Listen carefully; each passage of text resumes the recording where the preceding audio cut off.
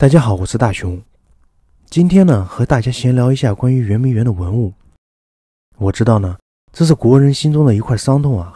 很多人呢，可能不太能听得下去这个话题。但是讲到大英博物馆，这也是一个绕不开的话题。很多人都好奇啊，到底大英博物馆有多少来自圆明园的文物？看完这个视频之后呢，你可能会感到很吃惊。我呢，特此查阅了一些中外对圆明园的研究。包括圆明园文物的研究，以及其最终的流向等资料，特此来梳理一下，分享给大家。目前呢，就是国际上对圆明园的研究啊，主要还是集中在中国、法国和英国。我能找到的资料，主要是来自于香港大学历史系，还有这个伦敦大学亚非学院的论文和期刊杂志。法国呢，因为法语的问题受限，嗯，所以你懂的，可能不会很全面。也希望大家多多包涵。我们知道，圆明园事件主要是一八六零年十月，英法联军攻进北京城，对这个西北皇家园林圆明园洗劫并放火焚烧的一次事件。这次事件呢，可谓是震惊中外。整个洗劫的过程未被记载，但是可以从当时的法国海军上尉巴吕所写的一些见证材料里看出一些具体的情况。巴吕在材料里说啊。第一批进入圆明园的人啊，以为是到了一座博物馆，而不是什么居住场所。因为摆在架子上的那些东西啊，包括这些玉器、金器、银器，还有漆器啊，不论是材料还是造型啊，都是非常罕见。很多人呢，以为啊，这就是像欧洲的一些博物馆。出于一些习惯上的谨慎，一些士兵呢，首先是仔细观察，因为那些东西啊，摆的是井井有条。所以呢，就让你觉得他只能看不能动。但是最后呢，还是有人经不住诱惑，就先动手了。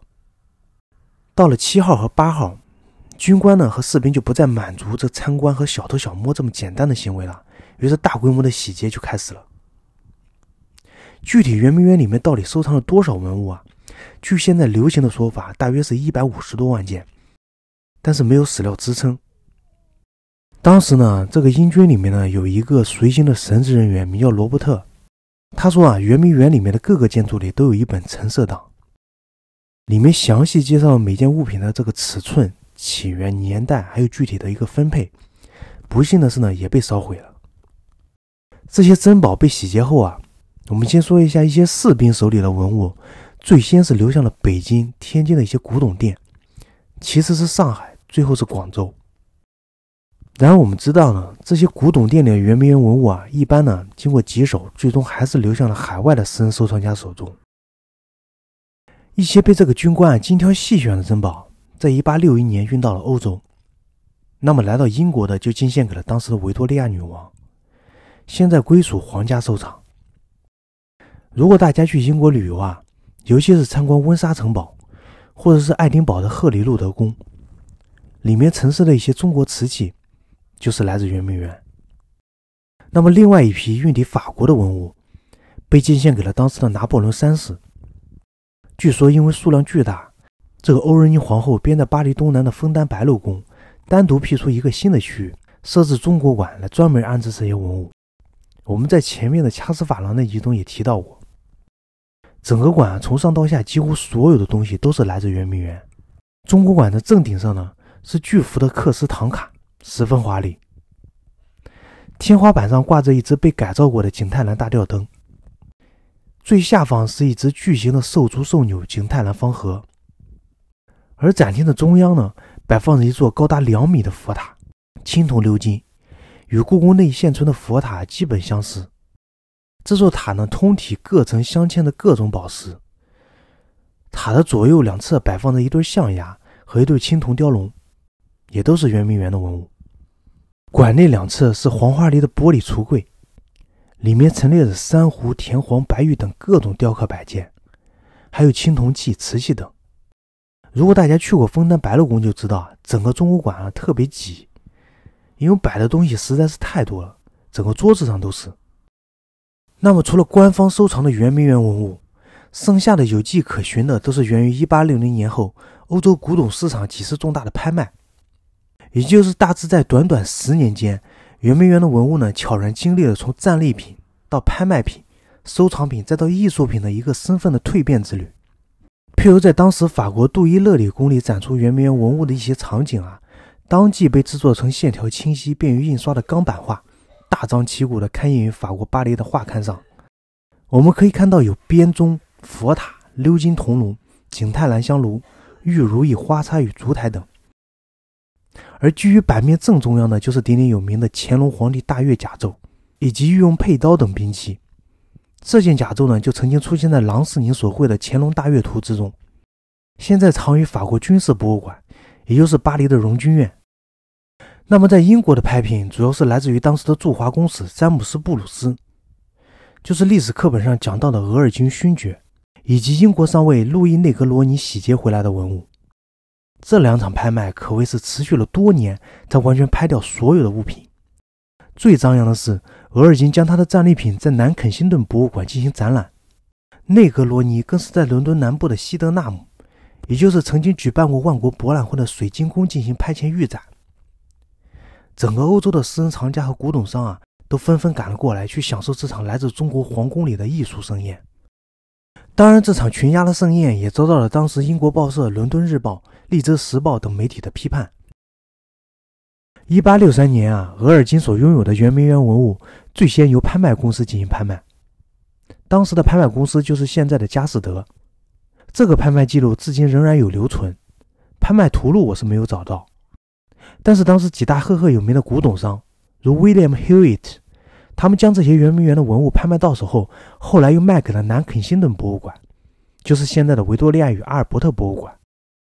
维多利亚与阿尔伯特博物馆的中国馆只展示了少量来自圆明园的文物，但是通过数据库检索，你还可以发现更多。大部分的标注来源为购买或捐献，比如这种典型的大件华美的皇家专用掐丝珐琅加镶金的冰函、太平有象、香薰鼎；小件的如花瓶、粉盒等。瓷器包括乾隆旧藏明代嘉靖时期的五彩花箍、英系开光粉彩瓶。带有圣德堂款的道光皇帝白鹤纹粉彩碗，圣德堂本来就是道光皇帝在圆明园的居所，所以这也证实了他的归属。接下来是玉器，包括这件乾隆时期的玛瑙盏托、玉碗、玉双龙孔瓶、玉制鱼桥石香瓶。漆器有龙纹漆盒、龙纹雕漆瓶，另外还有一件玉制的黄绸龙袍。那么除了拍卖的？还有一些圆明园的文物进入了英国的军事博物馆，算是当时的士兵或军官当成战利品拉回来的，有的就捐赠了出来。目前英国军事博物馆收藏圆明园文物最多的是陆军工兵博物馆，它的主要展品主要来自于查尔斯·戈登。这个人，我想大家应该还是认识的。1860年代和火烧圆明园同一时期发生的事件，就是南方的太平天国运动。当时清军接触了美国洋枪队对付太平军，戈登的洋枪队被誉为常胜军，后来还被两宫太后授予了常州提督。没想到吧，他可是参与了洗劫圆明园的行动，后来又因为立功被清廷赏赐了黄马褂。展厅里的圆明园文物最具分量的，就是这张乾隆的龙榻，看起来做工非常精美，以及还有上面的龙袍。龙榻上是摆满了各种精美的珠宝、佛像、玉器、扇子、武器等。你能想象，这就是当时的一个军官不顾一切搜罗各种宝物往自己袋子里装的情景？因为他也不懂哪些贵重，看到珠宝金光闪闪的东西往里面塞就是了，所以很杂。其次是位于英国普茨茅斯港的皇家海军博物馆，展览的物品总体来说也很杂，一对景泰蓝花箍。鎏金佛像、皇家佩剑和烟壶等。另一个收藏圆明园文物比较有分量的军事博物馆是 The Wardrobe Museum。这家博物馆主要收藏了当时参与第二次鸦片战争英国第九十九兵团的展品，其中就包括来自圆明园的战利品，同样是龙袍、三只粉彩香炉、一件琵琶尊。既然这家博物馆着重展示了第九十九兵团的文物，相信在展厅里的这些只是部分。当然，这三家算是收藏圆明园文物最多的军事博物馆，其他军事性质的博物馆多多少少会有，但多数不是精品。那么最精品的是来自哪里呢？当然不是大英博物馆。我只能说是在私人收藏家手中。